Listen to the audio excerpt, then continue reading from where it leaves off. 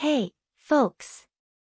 Welcome back to 2230, your go-to source for news and discussions around the Asian region.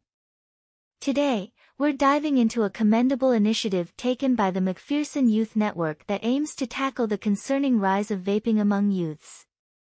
The MacPherson Youth Network has recently rolled out its latest endeavor, the Drop It, Stop It anti-vape campaign. Running until January 2024, this campaign targets individuals aged 12 to 30, urging them to surrender their vape devices in exchange for a 30 Singapore dollar voucher. The initiative aims to combat the increasing prevalence of vaping, particularly among students. The campaign was officially launched on Saturday, November 18, at the MacPherson Community Club, with Member of Parliament Tin Pei Ling at the forefront.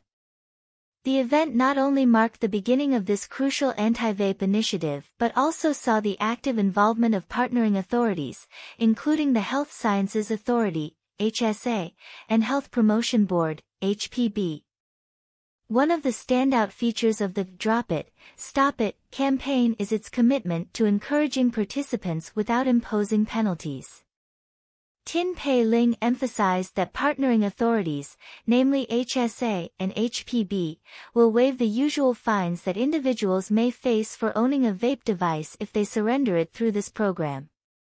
Typically, individuals in Singapore could face fines of up to 2,000 Singapore dollars for each offense related to vape devices.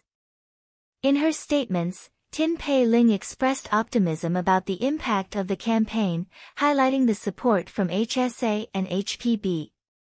She mentioned that by offering an incentive for youths to give up their vaping devices, the campaign aims to yield positive results and make a significant difference in curbing the trend. The MacPherson Youth Network has set ambitious goals for community engagement. They aim to involve 50 youths in the campaign or collect 50 vape devices by the end of the initiative. This not only underscores the scale of the vaping issue but also emphasizes the importance of collective action in addressing it. As we wrap up our coverage of the Drop It, Stop It anti-vape campaign, we encourage you to share your thoughts in the comments below. What do you think about the initiative? And do you believe similar campaigns could be effective in other regions? Don't forget to like, share, and subscribe for more updates on impactful initiatives like this. Until next time, stay informed and make those positive choices. This is 2230, signing off.